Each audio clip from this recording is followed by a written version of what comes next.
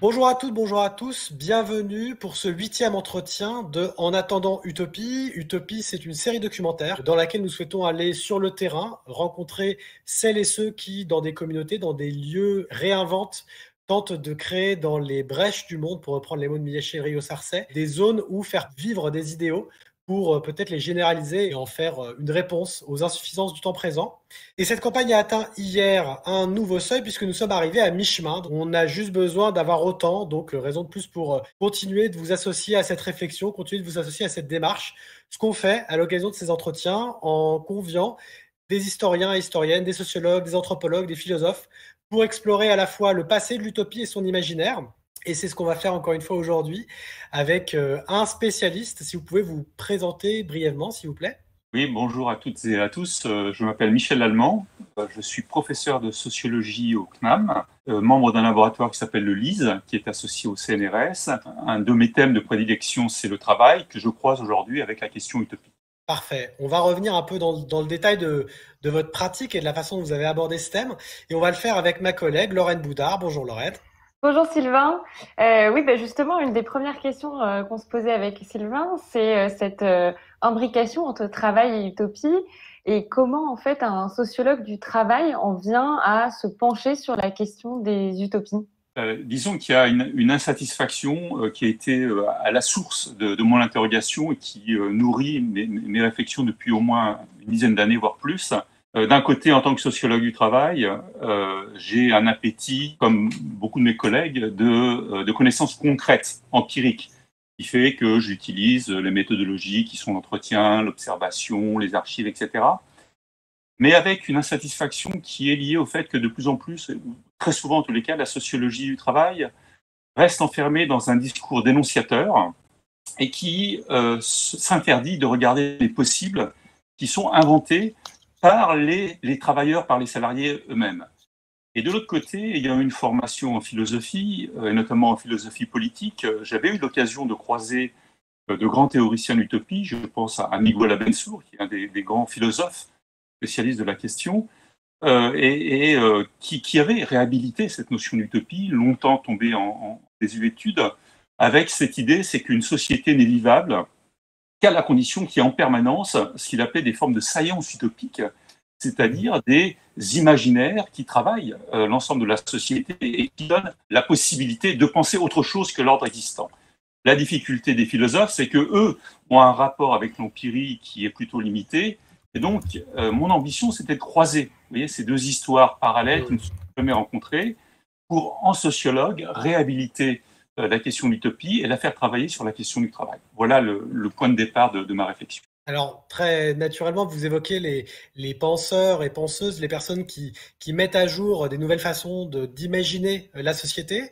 Et il se trouve qu'il euh, y a une dizaine d'années de ça, vous vous êtes penché sur, euh, entre guillemets, un petit peu l'un des incontournables de la pensée utopique française, qui est le familistère de Guise, la pensée fourriériste mise en mur, euh, au travers euh, l'œuvre de Godin.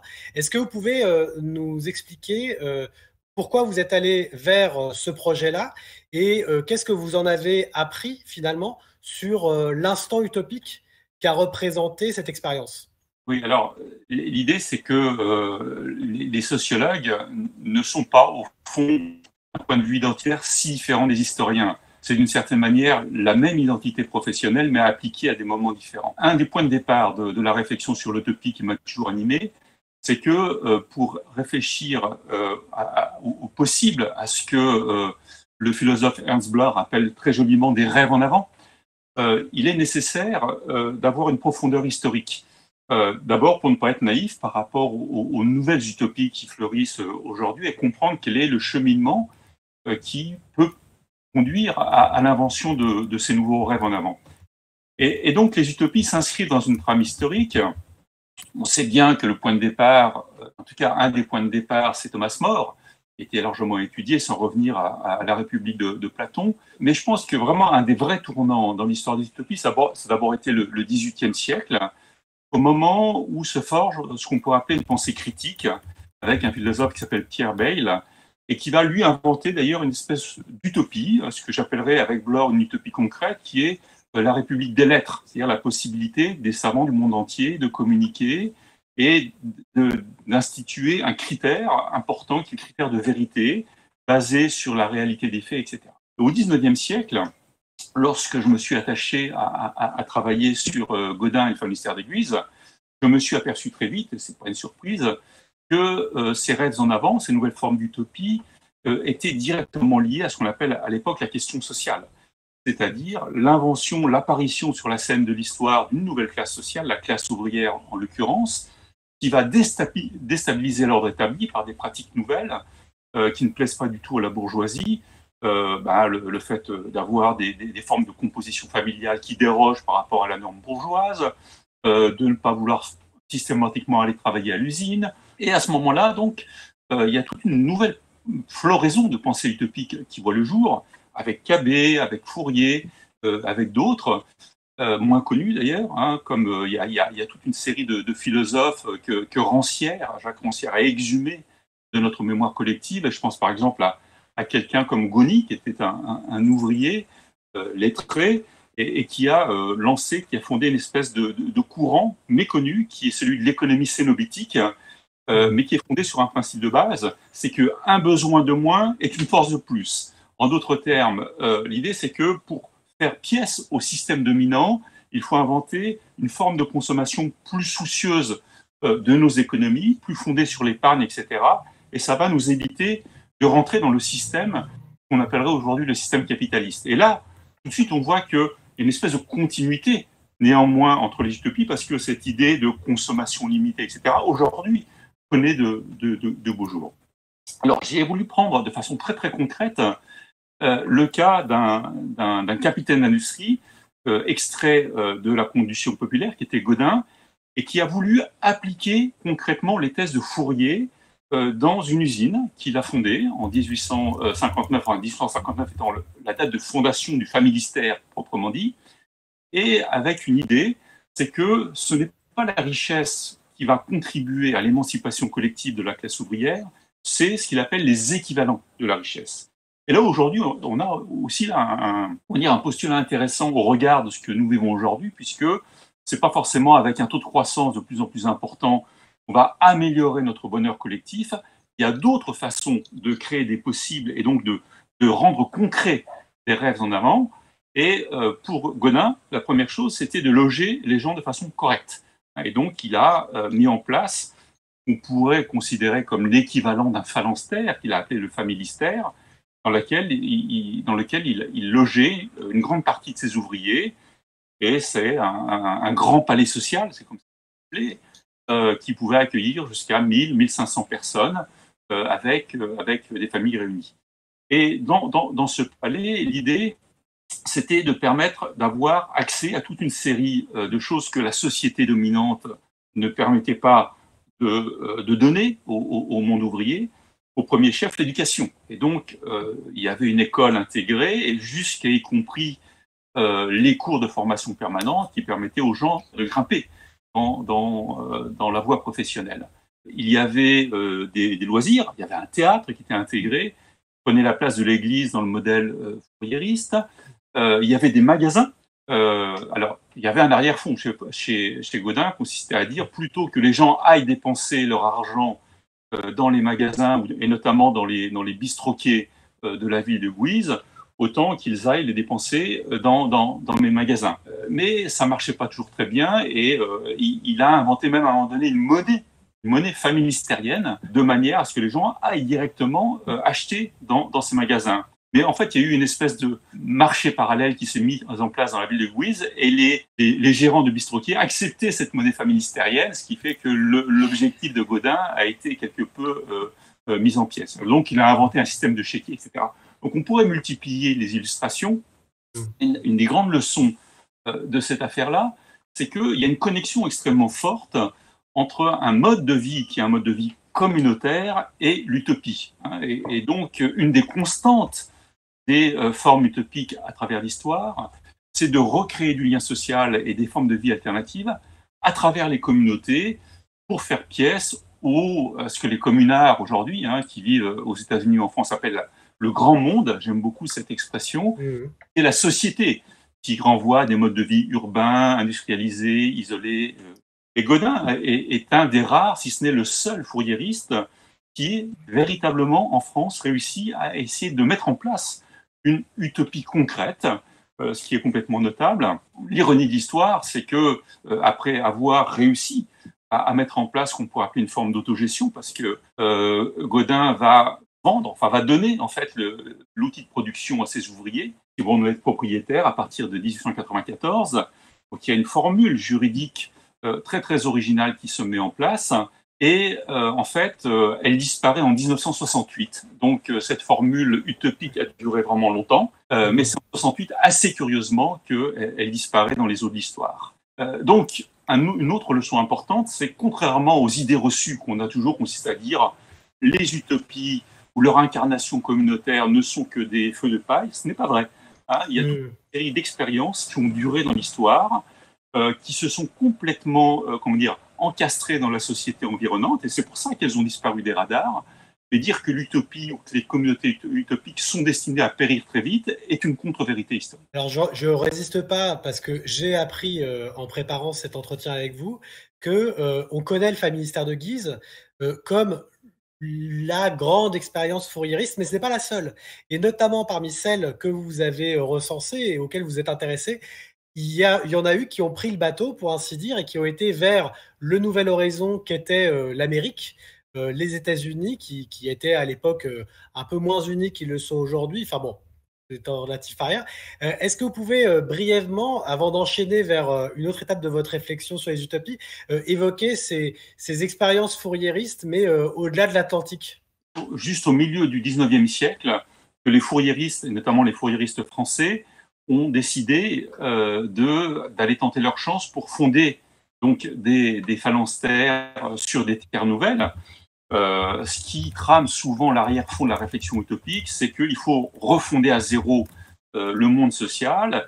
Et quoi de mieux que des terres qui sont des terres sauvages comme les États-Unis à l'époque, euh, pour pouvoir justement s'implanter et faire société. Euh, alors il y a eu une quarantaine, une cinquantaine, selon les comptes, de groupes fourriéristes qui, ont vu le jour euh, aux, États-Unis. Et en France, euh, un, des leaders qui était le chef de l'école sociétaire, donc l'école fourriériste française, s'appelait Victor Considérant, euh, a emmené un groupe de, de fourriéristes au Texas en 1854 exactement. Et là, ils ont fondé un, un, un phalanstère, mais qui malheureusement a pris l'eau assez vite pour plusieurs raisons, parce que les conditions de vie étaient extrêmement rudes. Donc euh, c'était très très dur de vivre euh, à partir de rien. Et par ailleurs, il y avait un manque d'expérience en fait euh, de la part notamment de considérants qui ne s'est pas impliqué, qui ne savait pas gérer une communauté. Donc ça a été l'échec. Il est revenu d'ailleurs en France, il a fait une dépression, etc.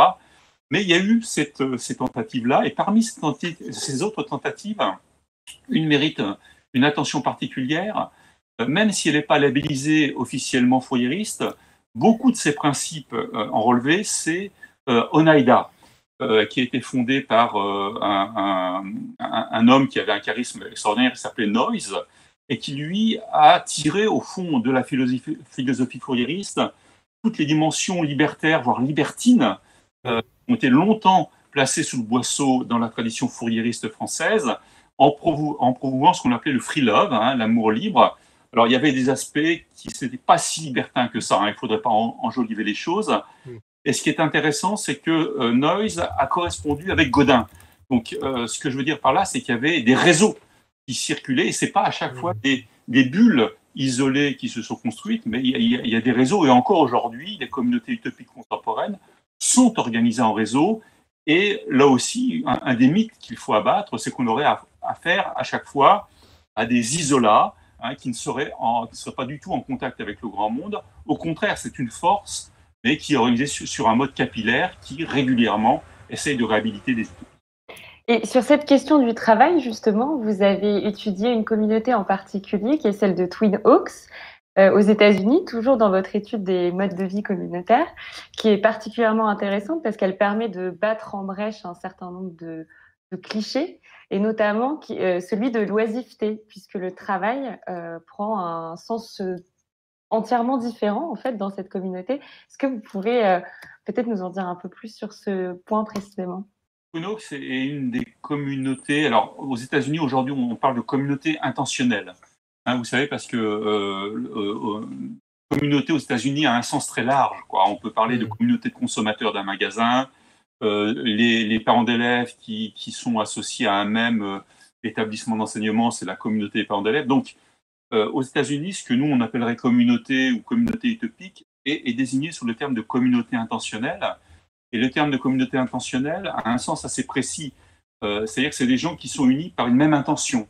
Y a un projet de vie alternative qui peut être basé, par exemple, sur le fait de vouloir promouvoir un mode de vie non violent, euh, de promouvoir des modes de vie ruraux, euh, d'avoir des communautés égalitaires entre hommes et femmes, entre blancs et noirs, etc. Et c'est des gens qui, par ailleurs, partagent. Donc, ils redonnent sens à ce qu'on appelle aujourd'hui la philosophie des communs. Hein, donc, hmm on se dépouille complètement de sa propriété privée et on met tout euh, en commun. Et Twin Oaks euh, ne fait pas euh, exception à, l'affaire. Et puis, surtout, troisième dimension importante de ces communautés intentionnelles, c'est que les gens vivent ensemble sur des espaces délimités et donc donnent vie concrètement à des, à des utopies. Et je voudrais insister ici sur le fait qu'à Twin Oaks, dont je vais dire deux mots maintenant, euh, eh bien, les, communards, les membres de cette communauté, utilisent eux-mêmes le terme d'utopie. Donc, ce n'est pas un label que le chercheur poserait comme ça sur une réalité sociale.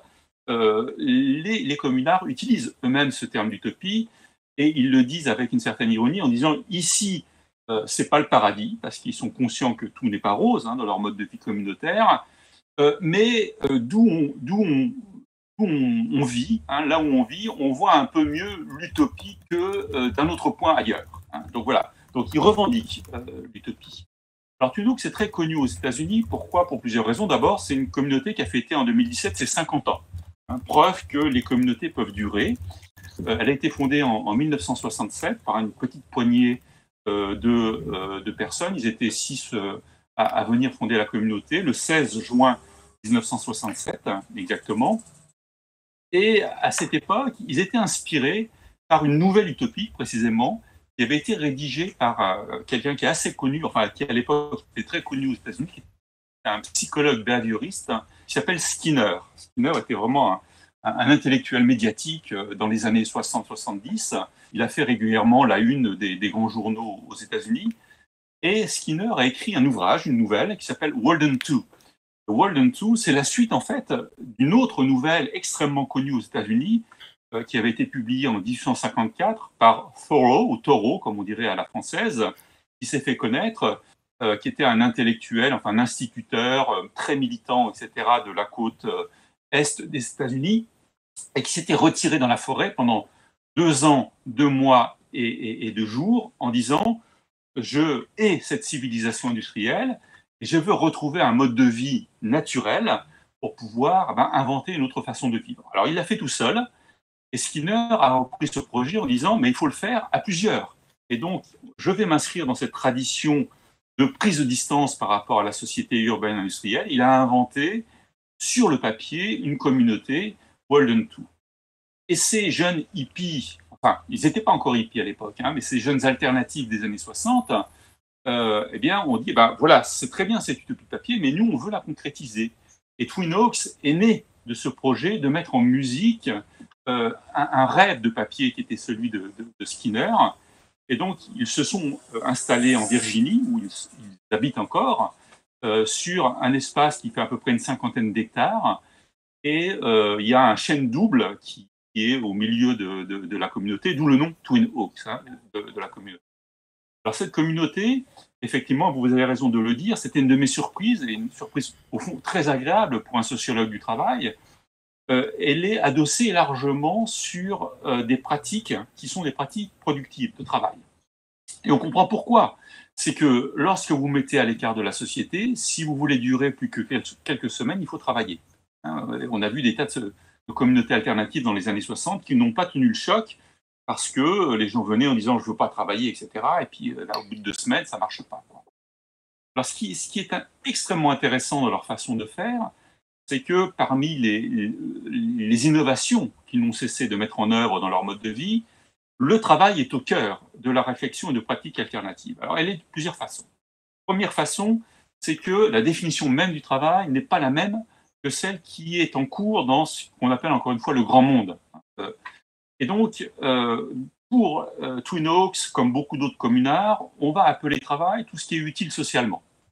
Donc, euh, à Twin Oaks, par exemple, on produit des hamacs, on produit du tofu, donc ça, c'est utile socialement parce que ça rapporte des revenus, et ça, ça correspond à la définition du travail classique.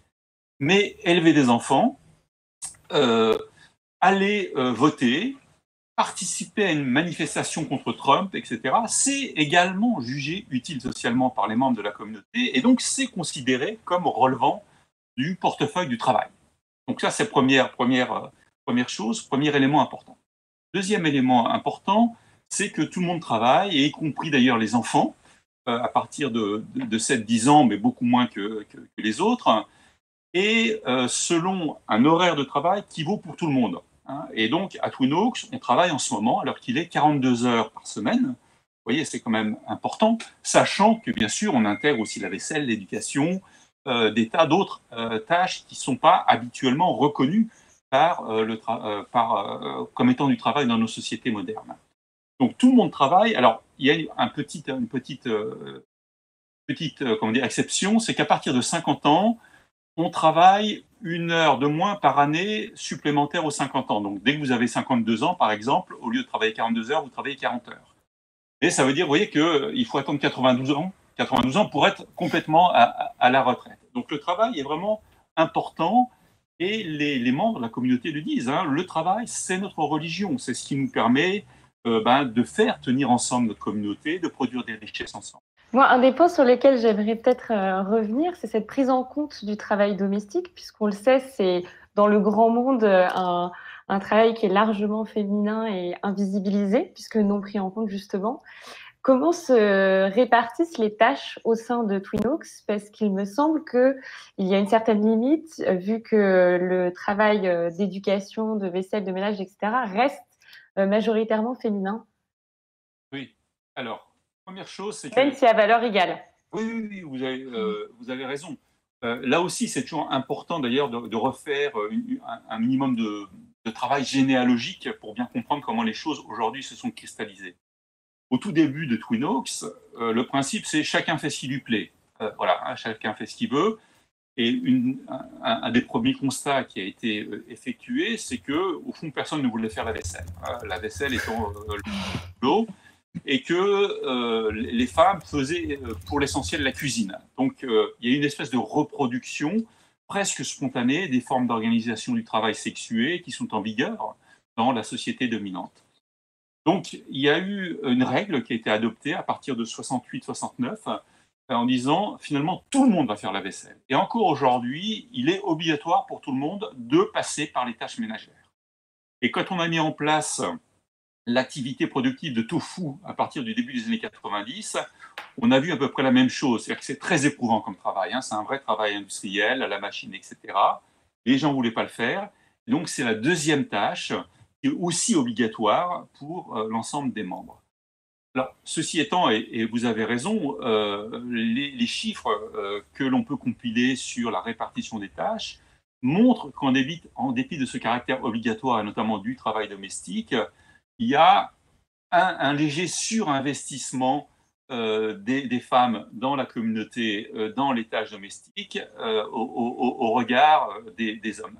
Mais on est plutôt de l'ordre de 60-40% hein, dans la répartition des tâches, ce qui est quand même bien inférieur par rapport au type de répartition des tâches que l'on peut quantifier dans, la société industrielle ou, même en France, où on sait que les deux tiers du travail domestique sont, pris en, charge par les femmes. Et il y a un autre point sur, lequel, euh, sur lequel vous insistez, c'est euh, la prise en compte de la pluralité des identités, de genre notamment. Et euh, vous expliquez que Twin Oaks est devenu presque une forme de refuge aujourd'hui pour les queers aux États-Unis. comment est-ce que ça se manifeste concrètement, cette, cette prise en compte? Alors, c'est effectivement une des grandes surprises de, de la recherche et du temps que j'ai passé dans, cette communauté. J'ai été aussi dans une autre communauté qui vient de une petite sœur de, de Twino qui s'appelle Écorne. Euh, donc Écorne étant le gland qui vient du chêne. Hein, euh, euh, et, une, des, une de mes surprises, ça a été effectivement de voir à quel point l'égalité entre toutes les orientations sexuées était importante dans, dans, ces communautés. Alors ça se traduit d'abord par le fait que toutes les, orientations sont largement acceptées. il y a effectivement beaucoup de, de jeunes queers. une des explications probablement, c'est que la pression sociale aux États-Unis est beaucoup plus forte que sur notre continent européen vis-à-vis justement de ces différences d'orientation sexuée et que ces communautés sont des lieux où ben, on lève le couvercle de la pression sociale en, acceptant, au nom précisément du principe d'égalité, la pluralité euh, des façons d'être, de vivre, etc. Euh, et ce qui fait que la jupe est souvent d'ailleurs euh, portée hein, par les hommes à, à Twin Oaks, à Acorn, etc. Mais ça se traduit aussi par des stratégies de présentation de soi, pour parler comme le, sociologue Erwin Goffman, hein, on apprend lorsqu'on vit dans, ces communautés. Une des, choses, premières choses qu'on apprend, c'est de dire euh, voilà, quand je me présente, bonjour, je m'appelle machin truc, et appelez-moi, lorsque vous vous adressez à, vous adressez à moi, dites soit i pour il, soit she pour elle, soit co, euh, qui est il, elle, quoi. Donc, qui est un, donc un, terme neutre ou indéterminé ou troisième siècle, tout ce que vous voulez. Et très vite, on apprend dans la vie quotidienne à respecter dans la façon de s'adresser aux personnes les, euh, les orientations sexuelles telles que les personnes souhaitent qu'on les projette euh, du mmh. point de vue de ce qu'elles sont et ce qu'elles souhaitent être aux yeux des autres. Hein. voilà. Donc, ça, ça se traduit par ce respect-là, par une forme d'égalité et qui est extrêmement importante euh, dans l'ensemble des, des, communautés égalitaires aux, on voit avec l'expérience de Twin Oaks que contrairement à l'idée du feu de paille, euh, des utopies, euh, euh, des hippies des années 60 aux États-Unis, il y a une longue durée qui s'installe, une expérience et finalement quelque chose d'une transmission qui permet d'affiner des pratiques sociales et une, organisation. ce, qui, ce qui interpelle, c'est de se dire finalement, si ça a duré aussi longtemps, est-ce qu'il y a un moment où cette expérience communautaire a essaimé à travers les États-Unis ou même au-delà euh, Si oui, quand et, si oui, comment? Euh, alors, aujourd'hui, je pense qu'il y a plusieurs caractéristiques euh, qui, permettent de définir la singularité des utopies de cette fin et de ce début de siècle. la première chose, c'est que il y a de moins en moins besoin de maîtres penseurs, hein, de mmh. maîtres penseurs, pour pouvoir nous aider à penser des nouvelles utopies. Alors ça, ça s'explique par mille raisons. C'est que le système éducatif s'est développé, le niveau culturel des individus s'est développé, et donc on n'a plus besoin, de moins en moins besoin, de s'en remettre à des maîtres à penser pour imaginer d'autres possibles. Donc ça, je pense, c'est un, premier point extrêmement important qui fait que les utopies d'hier ne sont plus les utopies d'aujourd'hui. Deuxième chose, c'est qu'il y a un appétit de mise en œuvre concrète de plus en plus forte de ces utopies consiste à dire euh, ben, euh, le moment entre l'écart entre le moment, le moment où je rêve un autre monde et puis celui où je le mets en musique, c'est réduit de plus en plus. Hmm. Ça a très bien été montré par Norbert Elias notamment. Donc il y a une volonté de faire utopie ici et maintenant. C'est la deuxième caractéristique, je pense, des, des, utopies concrètes et communautaires d'aujourd'hui. Et troisième chose, troisième caractéristique des utopies contemporaines, c'est qu'elles perdurent parce qu'elles savent gérer des relations avec le grand monde. Donc là aussi, je voudrais insister fortement sur le fait que les communautés utopiques ne sont pas des bulles complètement isolées du monde. Si elles fonctionnent, si elles sont capables de faire vivre leurs valeurs, c'est parce qu'elles ont aussi l'intelligence de, la composition avec le grand monde. Et ça explique pourquoi les communautés utopiques américaines sont organisées en réseau. Et il y a une fédération qui s'appelle la FIC, la Fédération pour les communautés intentionnelles, qui est extrêmement active aux États-Unis, qui rassemble les forces vives euh, de l'ensemble des communautés américaines, qui a un magazine, et beaucoup de communautés ont des sites Internet. Twin a un site extrêmement bien fait, et Korn également, et ils, mettent au fond sous forme de vitrine leur mode de vie alternatif en disant nous, en vivant autrement, c'est pas simplement entre nous qu'on reste, on veut faire bouger le reste de la société. Et ce mouvement auquel participent activement ces communautés va de pair avec une transformation qu'on pourrait qualifier de morphologique de ces utopies euh, communautaires, puisque les communautés des années 60 ne sont plus complètement celles d'aujourd'hui, ou inversement, celles d'aujourd'hui ne sont plus exactement celles d'hier. On voit apparaître de plus en plus d'autres formes de vie communautaire qui sont relativement modernes, qui sont les éco-villages. Hein, et les éco-villages sont les formes renouvelées qui intègre notamment des exigences écologiques extrêmement fortes de, de, cette possibilité de mettre en, en, adéquation concrète des modes de vie avec des valeurs qui sont des valeurs souvent alternatives à, celles du grand monde. Pour avancer dans la chronologie euh, de vos travaux, euh, je voudrais me référer à votre avant-dernier ouvrage et votre avant-dernière exploration euh, collective avec deux co-auteurs, c'était celle des communautés de makers. Et du coup là, on arrive sur un questionnement qui est à la fois un questionnement en termes d'organisation, euh, et aussi en termes de circulation du savoir, puisque euh, la, question de la connaissance, euh, en l'occurrence des, schémas, des blueprints, de la pression 3D ou utilisés pour les outils, est au cœur de cette réflexion-là. Qu'est-ce que vous avez découvert dans cette communauté-là qui vous paraît, entre guillemets, une, forme de modernité, un aboutissement, ou peut-être au contraire, qu'est-ce que vous avez trouvé, à l'inverse, pardon, euh, euh, qui fait écho à ce que vous aviez pu explorer dans les communautés, euh, qu'elles soient, qu'elles soient intentionnelles ou bien qu'elles soient un peu comme les, hypothèses fourriéristes, très organisées et en, cercle fermé. oui, alors la thèse, en tout cas ce qui m'intéresse, c'est de voir comment aujourd'hui l'esprit utopique se réinvente à l'ère des nouvelles technologies, à l'ère du numérique euh, c'est une des thèses en tout cas que, je soutiens, c'est que euh, ces communautés hackers, makers, euh, réinventent à leur manière des formes de communautés qui existaient précédemment, mais avec des, différences et, des similitudes. C'est ça qui, était tout à fait fascinant. Alors parmi les différences, je pense qu'il y en a deux importantes à, à pointer. C'est qu'on a affaire à des communautés ouvertes, à la différence des communautés utopiques traditionnelles euh, qui y compris d'ailleurs celle euh, de, euh, qui, que, j'ai étudiée comme, comme Twinox, ben, pour redevenir membre, il faut, il faut montrer pas de blanche, c'est-à-dire qu'il faut être accepté, etc. Alors que les communautés hackers, les communautés makers, sont des groupes qui se réunissent de manière régulière dans des espaces, dans des locaux, etc., qui ont une, identité commune, qui ont des, des, moments de vie collectifs extrêmement intenses, mais n'importe qui peut passer, revenir, etc. Alors, selon les cas de figure, euh, on, est membre, on n'est pas membre, etc. Mais l'ouverture est, un trait contemporain dans la réinvention de ces communautés. Euh.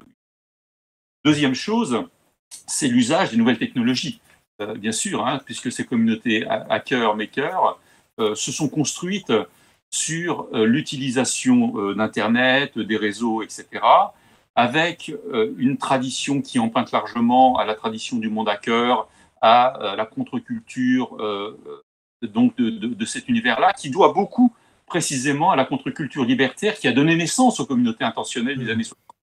Donc là, il y a une, racine commune et, qui, nous mène vers toute une série de, de ressemblances. Premier type de ressemblance, c'est euh, la volonté de, créer ce qu'on appelle du commun. Et donc, les hackers, très tôt, euh, ont imaginé euh, un, contrepoint au, copyright, donc au droit de propriété individuelle, en disant bon, on, va, on va créer du copyleft, c'est-à-dire un système qui permet, ben, lorsque je crée quelque chose, je le partage et je, le fais circuler.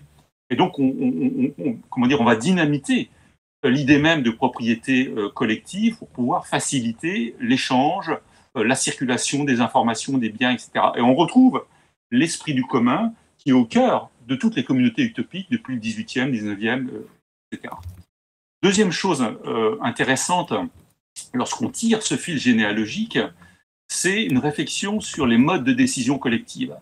Lorsque euh, l'on vit ensemble, on fait communauté, ben, c'est pas toujours facile de se mettre d'accord. Euh, ça l'est d'autant moins que l'on vit ensemble 24 heures, parfois sur 24 dans les communautés intentionnelles, que le conflit euh, est, au cœur hein, de, des, relations, etc. Et donc, euh, ce qui m'a beaucoup frappé, lorsqu'avec mes collègues on a étudié ces, ces, communautés maker-hacker, c'est que certaines d'entre elles, dans une tradition, disons, anarchiste, récusent complètement le recours au vote comme mode de décision en tout cas de, production de décision habituelle. Et le consensus est, un mode de décision qui est souvent utilisé dans, les communautés hacker qui s'instruisent le plus fortement de cette tradition anarchiste. Alors c'est intéressant parce que euh, il y a toute une tradition de recours au consensus depuis les sectes puritaines de Max Weber, si j'ose dire, euh, qui avaient recours. En passant par les communautés intentionnelles plus classiques fondées dans les années 60, jusqu'à y compris donc les communautés hackers aujourd'hui, en disant une voix vaut une voix et surtout, il ne faut pas que la majorité écrase la minorité. Et donc, on est dans des univers, et c'est vrai aussi dans certaines communautés intentionnelles, où on parle beaucoup.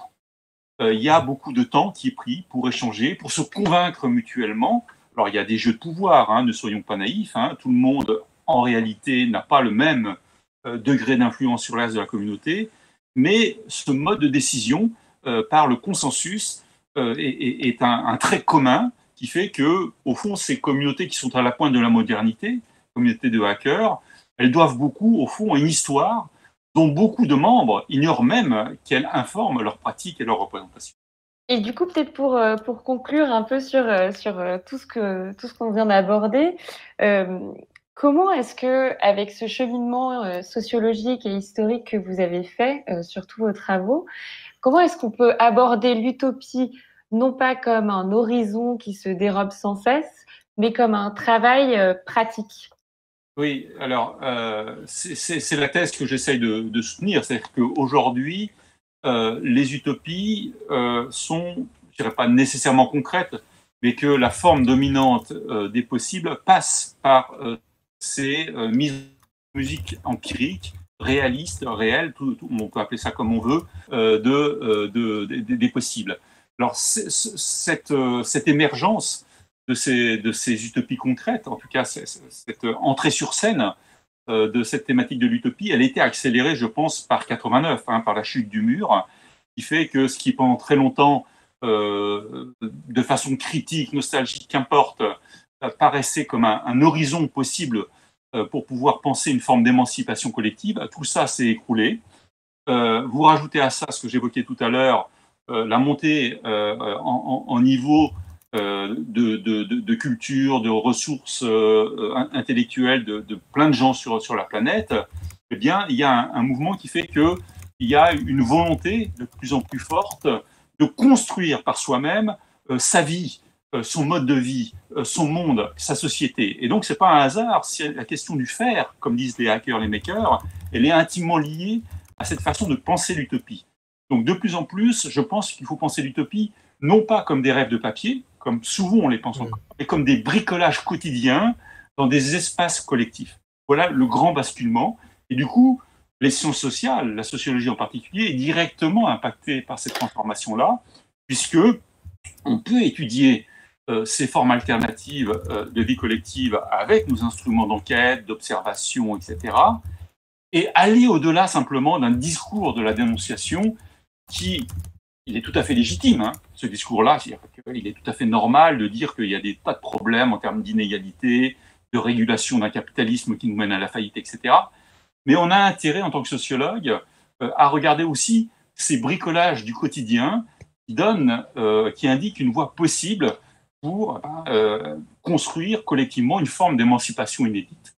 Merci beaucoup à vous, en tout cas, Michel Allemand, d'avoir pris le temps d'explorer avec nous la grande diagonale de vos recherches, depuis euh, le familistère de Guise jusqu'aux hackers et aux makers de la baie de San Francisco, qui sont des sujets qui nous tiennent fort à cœur, et, euh, de nous avoir eh bien, amener un peu plus avant dans cette idée que finalement l'utopie était plutôt qu'un horizon où se perdre et un rêve euh, et un rêve sans matière, euh, l'occasion au contraire de, répondre à des enjeux euh, du présent, ce qu'on espère pouvoir faire avec notre série Data Utopie. qu'on va tenter de mener à bien au travers déjà la réussite de ce crowdfunding auquel je le rappelle on a déjà sur lequel on a déjà obtenu plus de 3500 soutiens merci à vous toutes et tous et on vous donne rendez-vous avec Lorraine, avec Henri, avec Julien pour d'autres entretiens, pour continuer d'explorer à la fois le passé et l'imaginaire de l'utopie, en attendant d'aller eh bien euh, dans le présent et dans la matière et dans les personnes euh, qui euh, tentent de les faire vivre aujourd'hui. Donc merci à toutes et tous. À très bientôt sur notre chaîne. Merci encore Michel Allemand et à très bientôt. À bientôt Lorraine. Bonne journée. Merci. Salut.